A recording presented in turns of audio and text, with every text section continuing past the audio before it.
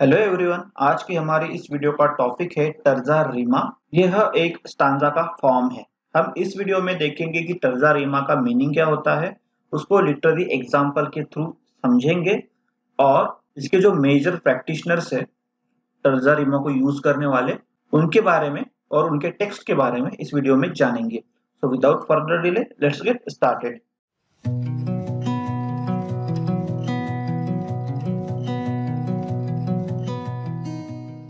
terza rima का literary meaning होता है three rhymes terza mean three rima means rhyme मतलब तीन लाइन की राइम इसे टेरसेट भी कहा जाता है. मतलब जो जो तीन लाइन का स्टांजा होता है, उसे टेरसेट भी कहा जाता है.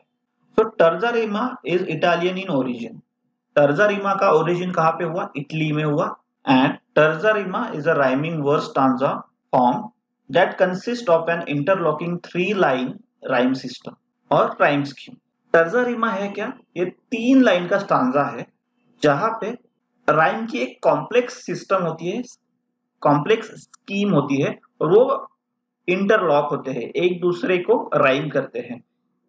ये कपलेट की तरह या हीरोइक कपलेट की तरह इमीडिएट राइम नहीं करती, एक लाइन के बाद राइम करती है। हम बेसिक पहले समझ लेते हैं, बाद में एग्ज़ाम्पल के थ्रू हम इसको और समझेंगे। पहले बेसिक पे जाते हैं।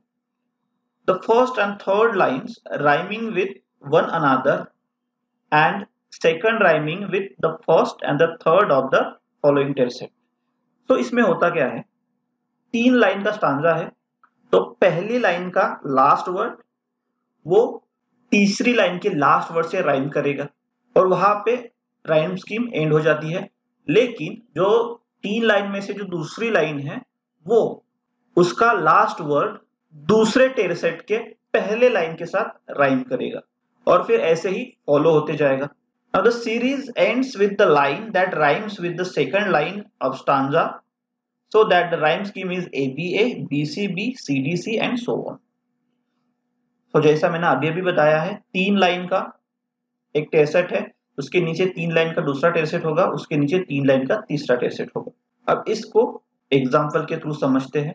रॉबर्ट फ्रॉस्ट की पोयम है एक्वेंटेड विद द नाइट वहाँ पे राइमिंग स्कीम है A B A B C B C D C तो जैसा मैंने बताया है कि तीन लाइन का एक स्टांजा होता है। तो एक, दो, तीन, एक, दो, तीन, एक, दो, तीन और बहुत सारे स्टांजा है इस पोयम में, लेकिन मैंने तीन ही स्टांजा लिए हैं समझने के लिए इजी जाएगा। सो so, पहले लाइन का लास्ट वर्ड और तीसरे लाइन का लास्ट वर्ड राइम करते हैं।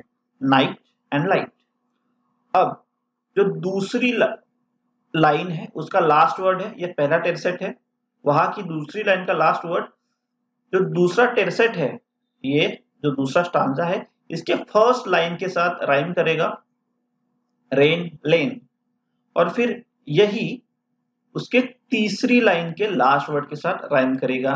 लेन एक्सप्लेन अब यहाँ पे राइमिंग स्कीम खत्म हो जाती है।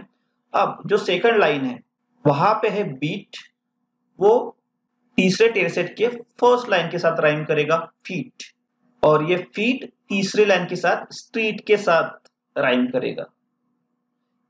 और यहाँ से नई राइमिंग स्कीम क्राई वाली शुरू हो जाएगी।